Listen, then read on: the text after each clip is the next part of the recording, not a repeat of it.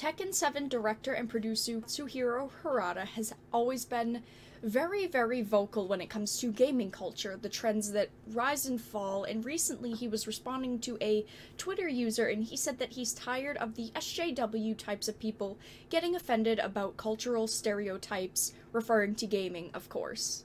Now, I do want to say most people refer to these types of people as SJWs or social justice warriors, but I almost never use that term, and that's because I personally feel like as though when you give someone a title or a label, titles give people a sense of power, and when you call them by said title, they mock you and respond with, Well, I'm an SJW, like you said, so obviously this is how I would act.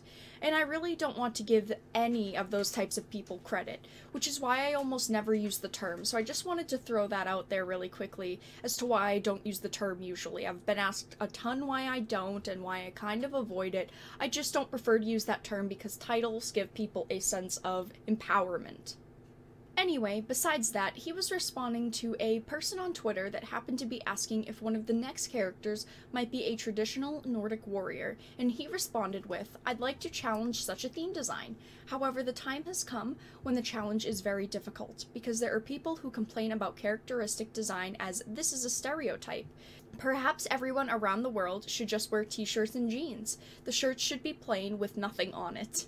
If there is a design, it could offend someone somewhere, right? I've become quite tired of trying to avoid causing potential offensive issues. Now, Tekken 7 is a game that's always received heat for the content and the characters in the game, but he's never, ever backed down or tried to appeal to a specific type of audience, unlike some of his direct competitors. We all know who I'm talking about, and he's proven this time and time again.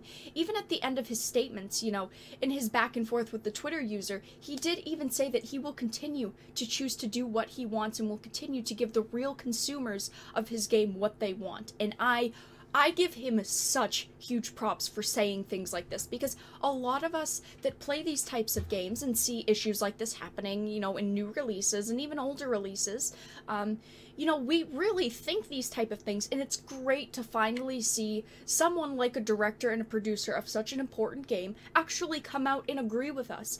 A lot of um, individuals in indus- in the industry, you know, do really agree with us, but they don't say it because they're afraid that it will affect their game sales directly um, in the way that Yohei Shimbori did. You know, he kept back and forthing because his real audience was upset, but the audience he was trying to cater to, um, you know, didn't like the direction of his game, and he was trying to have that middle ground, but you truly can't have that middle ground. You have to stick with what you believe, and that is why I am really standing with Katsuhiro here.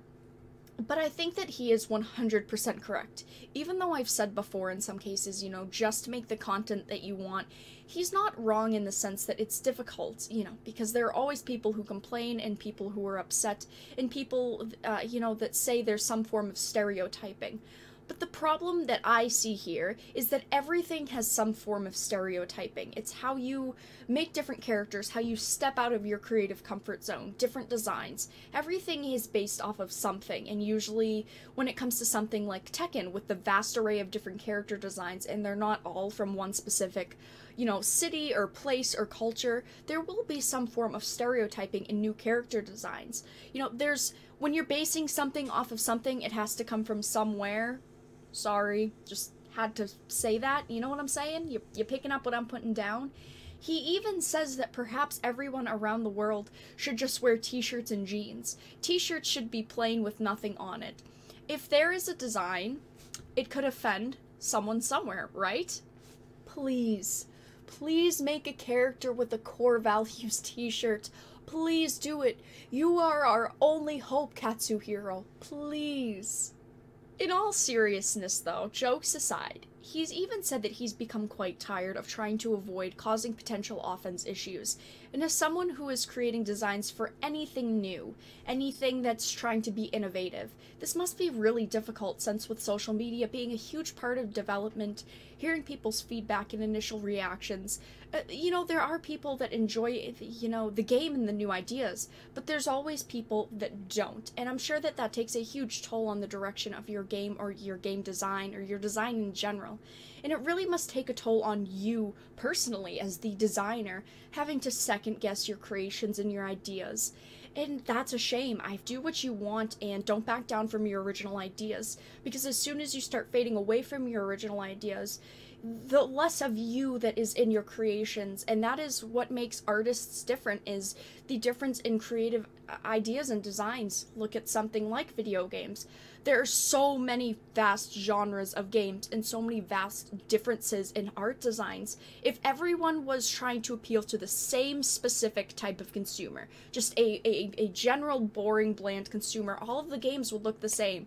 There would not be innovation in games. Hearing someone stand so firmly with his beliefs, and that is what we need more of in the gaming industry now when you know, things like these social justice warriors become more and more opinionated and they become and they voice their opinions more. And I definitely 100% love that he just came forward and said his mind, and I 100% support him.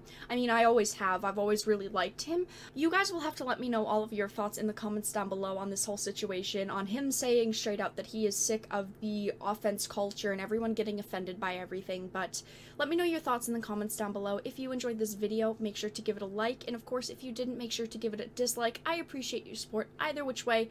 I will have a link down below in the description of One Angry Gamer's article on this. Um, it's a very well written article. You all know One Angry Gamer writes very well articles, but I hope that you guys enjoyed this video, and I will talk to you guys again really soon.